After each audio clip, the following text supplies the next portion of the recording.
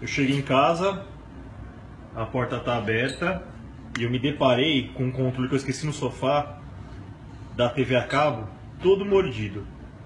Eu pisei o pé em casa, abri a porta e olha o que eu encontro. Os quatro, ao ouvir o barulho da porta, eles correram pro cantinho aqui. E ó, e olha o estado do controle.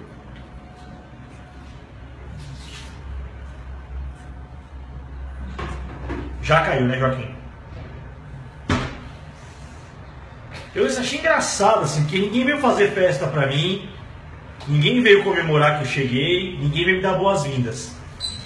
Diante da situação, o que, que eu percebo? Quando eu vi a porta aberta, os quatro aí no cantinho, falei, alguma merda fizeram.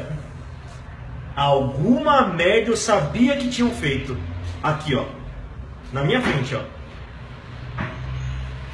Controle todo destruído. Ou seja, hoje TV sem chance.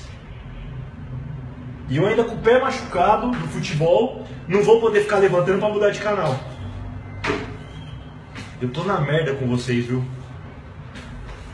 Cara do céu. Eu não sei o que eu faço mais.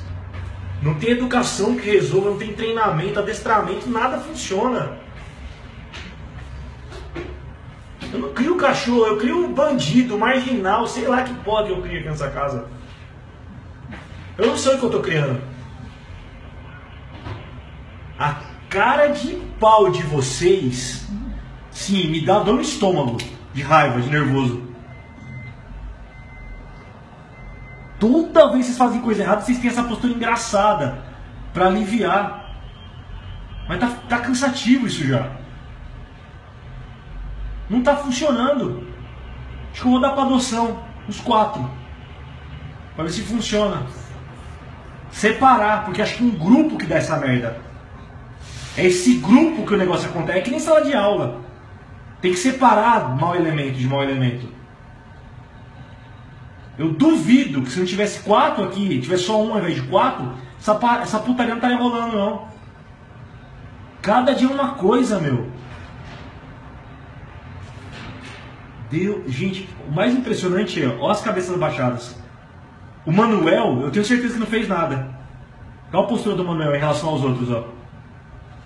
Olha a postura do Manuel em relação aos outros.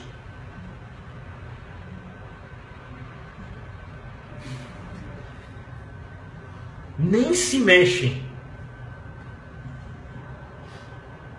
Fazer o que, né?